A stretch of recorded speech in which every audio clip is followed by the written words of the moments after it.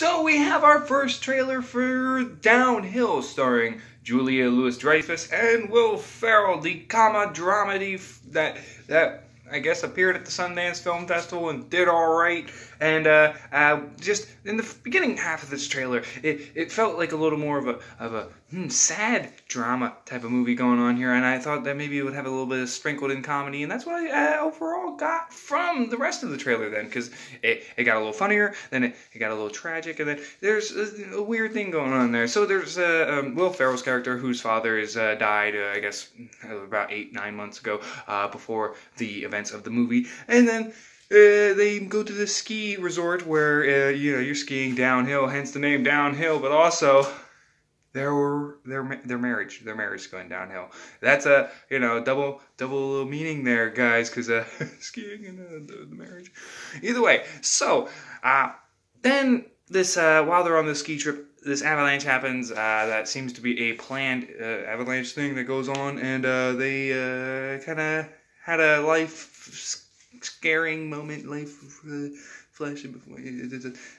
Will Ferrell left his family at the table, grabbed his cell phone, and ran.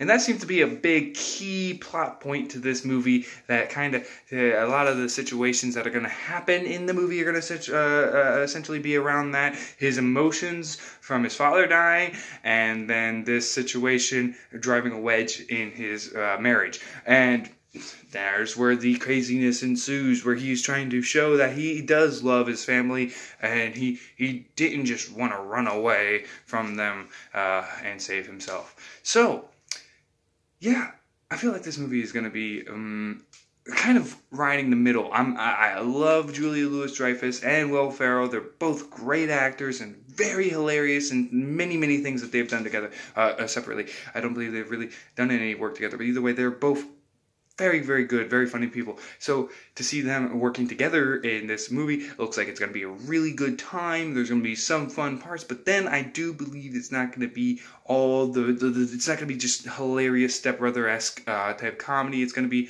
it's going to be more drama. Uh, that's definitely how I feel. It's going to really hit home with the relationship stuff and how you how you work together and things like that. Wow, the light just, whoo, I guess a cloud moved and the sun just beamed in here for a second. But either way, yes. What did you think about this trailer? Do you think it's going to be uh, boring?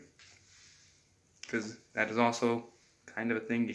I feel like I feel like there's going to be maybe some boring parts. But do you think that it might be boring, or do you think there's going to be a, a riot, a hoot? So funny.